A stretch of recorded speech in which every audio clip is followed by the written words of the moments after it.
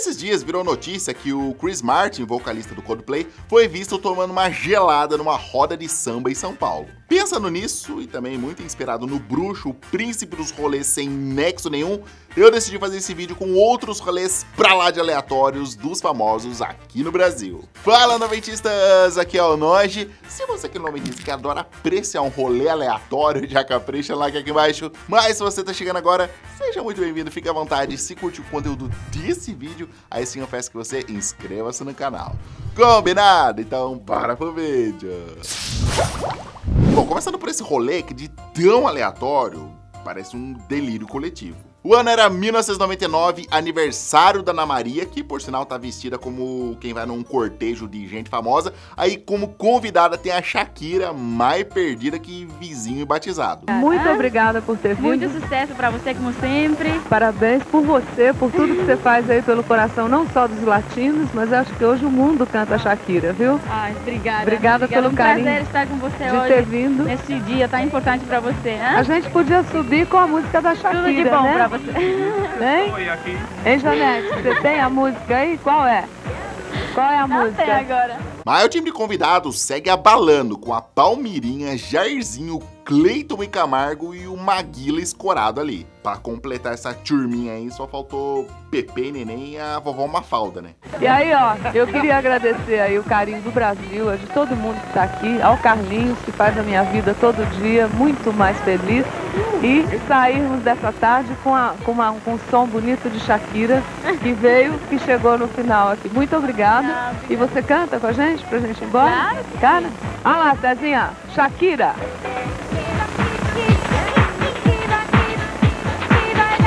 Isso aí tá parecendo aquelas festinhas de aniversário na firma, que fica todo mundo deslocado e constrangido.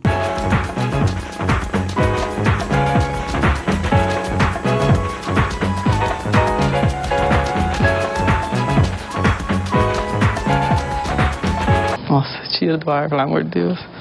Falar em estrela internacional, que tal a Lady Gaga, que quando veio ao Brasil deu um rolê por uma comunidade no Rio de Janeiro, perambulou descalça pelos becos e ainda tomou várias cervejas Sintra num boteco obscuro, daqueles que tem maquininha caça-níquel até hoje. E o que mais que eu vi nas imagens aí, ela, ó, mandando a cana pra dentro, hein, ali na comunidade, hein? Sentou no botequinho ali, pediu logo uma, uma loira gelada.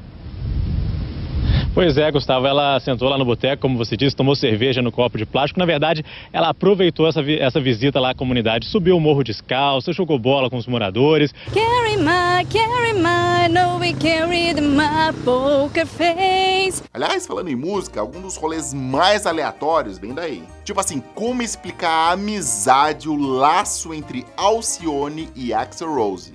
Com direito até a nossa querida Marrom usando uma camiseta com a foto do Axel Rose. Um modelito bem Lula Palusa, eu diria. Só faltou mesmo ela mandar um Sweet China Mine, né?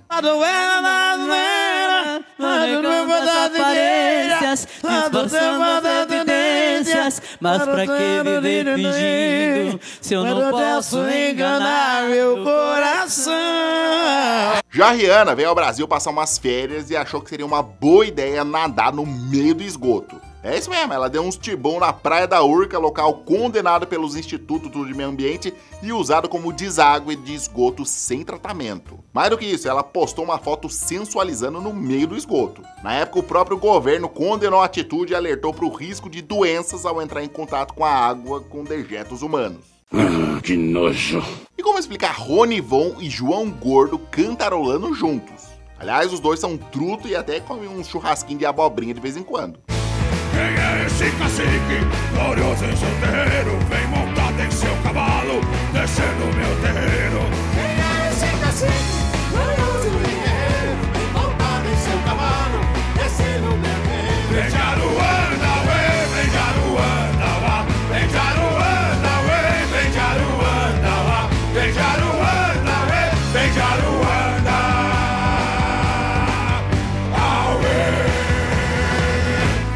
Não entendi nada. A cantora norueguesa Aurora fez um grande sucesso logo no seu primeiro disco de estreia lá em 2015. Apesar da conta bancária provavelmente bem recheada, ao visitar o Brasil, ela foi vista comprando umas brusinhas na Renner. Será que conseguiram convencer ela a fazer o cartão da Renner? Não bastante, ela foi vista comendo um churrasquinho de gato no centro e clicada tomando uma Itaipava aparentemente quente.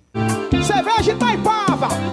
Essa é boa. Não, não, não, não, não. Seguindo a linha de famosos gringos tentando entrosar no Brasil, temos ninguém menos que Tim Burton, o diretor de todos aqueles filmes góticos e sombrios que a gente adora, mas dessa vez no Brasil durante o carnaval ouvindo funk numa praia rodeada de fãs. Essa imagem é uma verdadeira obra-prima. Dress code do Tim levemente destoando dos trajes dos demais, cara de quem tomou meio engradado de Kaiser e muitos joinhas numa mesma imagem, saudação clássica do carioca feliz. E vai ficar melhor logo assim que eu assumir como King Size, o senhor das terras do Rio de Janeiro. Já o astro de Hollywood Ashton Kutcher foi um pouquinho mais radical e decidiu simplesmente fazer uma série de fotos surfando numa enchente em São Paulo. E de diferentes ângulos ainda por cima. Não contente, ele ainda postou a presepada nas suas redes sociais, todo orgulhoso. Bom, pelo menos isso aí pode dizer que conheceu São Paulo do jeitinho que os paulistanos conhecem, né? Tanta água se desperdiçando e a gente sem nada dentro de casa, a gente fica tomar um banho, lavar o rabo, como diz o povo, né? E a cantora italiana Laura Pausini, vencedora até do Grammy, quando veio ao Brasil, foi muito bem recebida e presenteada pelos fãs brasileiros, e aí saiu em vários jornais pelo mundo desse jeitinho. Laura Pausini segurando um Laura Tony, que deve ter saído direto daquelas cestas de Natal da firma. Ô louco, é fajuto isso aqui. É fake. Mas olha aí. Mais aleatório que isso, só o Will Smith e Naldo juntos e cantando ovacionados pela galera. Yeah, yeah.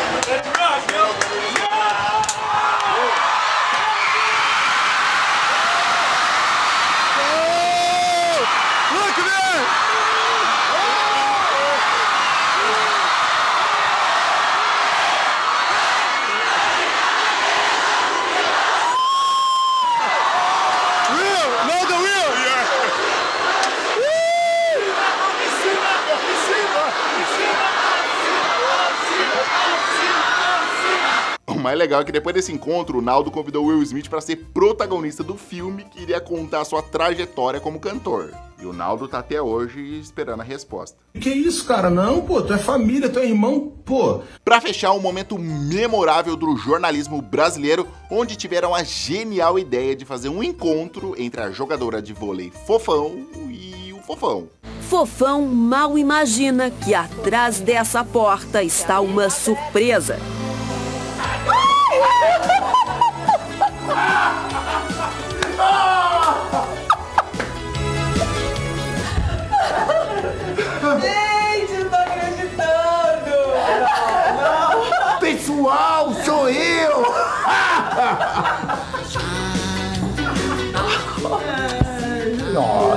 Um encontro inédito e muito divertido.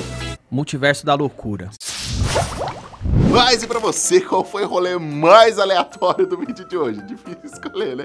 Comenta aqui embaixo. Se você gostou desse vídeo, deixa o seu gostei, compartilha com seus amigos, com a sua família, com todo mundo. Lembrando você também de seguir nas redes sociais, todos os links estão aqui na descrição. E é claro, como sempre, eu vou deixar uma playlist você continuar maratonando com muito mais momentos absurdos da TV brasileira. É só clicar aqui. Eu vou ficando por aqui, muito obrigado pela sua audiência, um grande abraço na Jaque e foi! Valeu!